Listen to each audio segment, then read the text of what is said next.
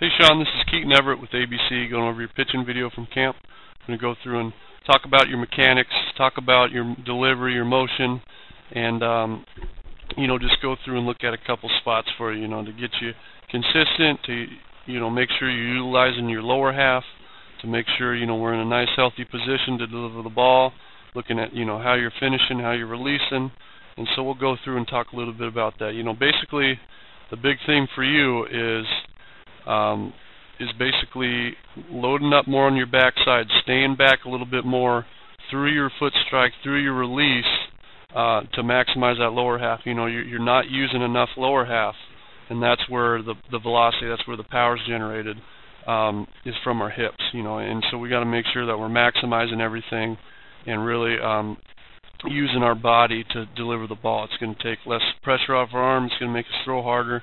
Um, so it's something that, that we'll go through and I'll explain a little bit more for you. All right. So initially off the bat, you know, we, we look at, we'll go and look at this one here, is we look at our, our um, sort of our initial setup. All right. So what we want is is limited movements. We want eyes on the on the catcher, so you're doing everything really good. All right. Now make sure that our foot's never on that mound. All right. It cuts off distance but it's just slick. We always want to make sure that that foot's right in front of the mound. All right, so make sure that once that foot starts, we're in front of the mound, not on top of it. All right. Now through your release or through your foot lift, all right, you, you're you you're doing good at staying over that back foot. All right, you're you're seeing there's not a whole lot of movement going on initially. All right, you can see that that there's just like a little bit of wobble. So just make sure you're working on that balance. You can see how it kind of you kind of go forward and back.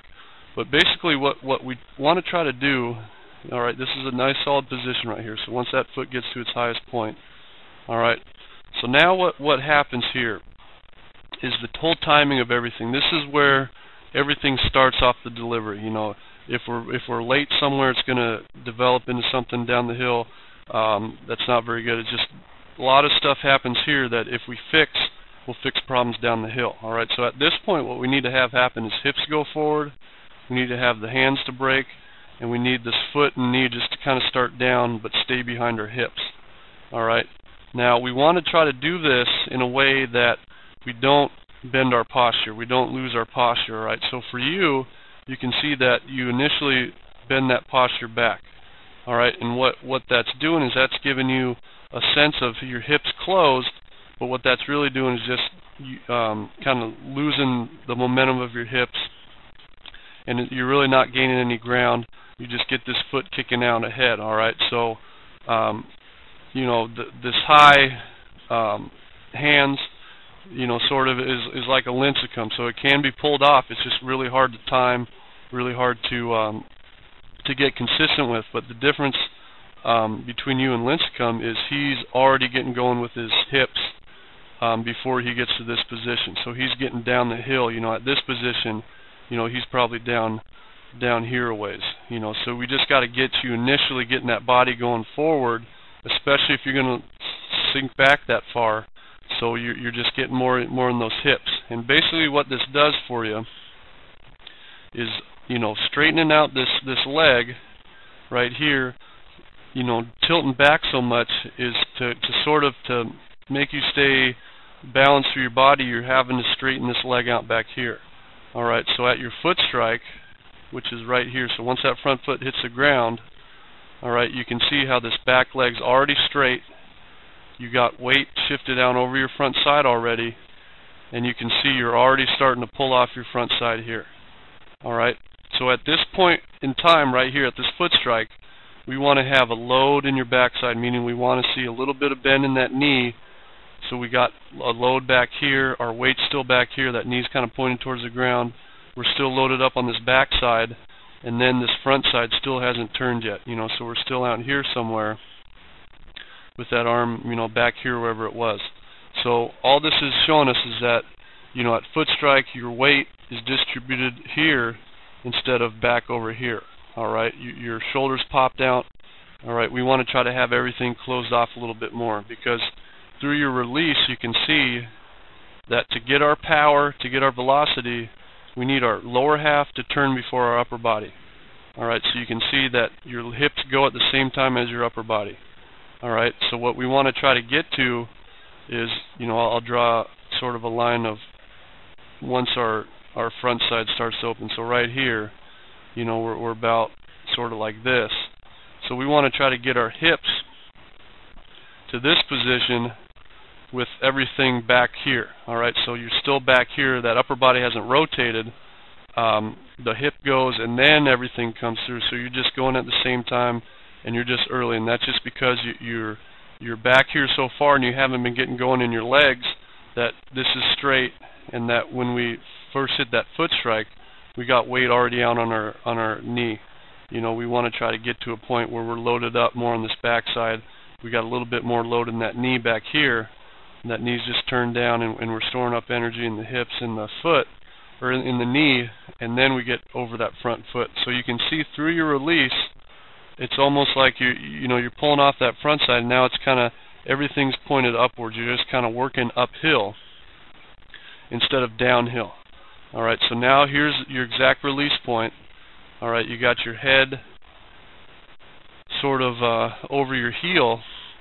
All right, this front foot's already straightened out, and we want to try to get to a point where we're taking that load, all that energy forward, and we're still bent here. We're staying straight through that back leg a little more, and that's going to get you out, you know, out over that front foot a little bit farther. So now we're going to be releasing the ball down uh, down here, going downhill a little bit more, all right, instead of back here a little bit flatter. So you're just using more energy. We, we want to make sure we're not doing this and that we're going downhill with everything. All right, and that's just all that is is that you're out early, you're out front, you're rotating early, and then you're kind of just throwing uphill. At this point, we want to try to get out farther.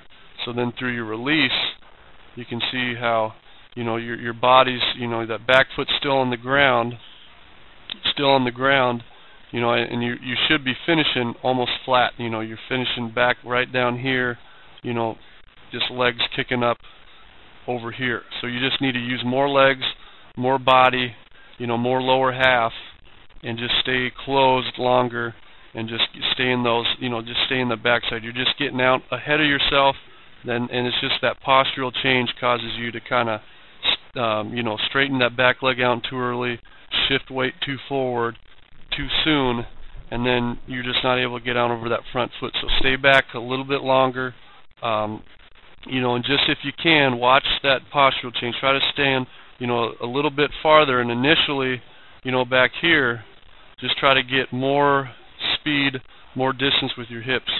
All right, you just get them going down farther instead of kicking this foot out farther. All right, just just work on getting down the hill, getting those hips closed, and just driving out over that front foot. You know, not throwing against a straight leg, but throw against a, a bent leg, and then it's going to straighten. You know, throw against a leg that looks like this, all the way through release, and then it'll start to straighten. You know, as you finish out over that front foot, and that body's you know almost parallel to the ground. All right, so just that's just that's just going to be big. Is just sort of re kind of wiring that lower half a little bit. So hopefully you're kind of able to see a few things and make a few adjustments this this uh, off season. But you know everything's there. It's it's working. It, it you know it's the foundation's there. Now it's just a couple of tweaks. Stay closed longer. Use a little bit more hips, and you're going to be good to go. Especially as you get older, get stronger, um, and get more advanced with your baseball. So. Thanks again for making it out to camp. Hopefully you had a great time, and we look forward to seeing you again with ABC.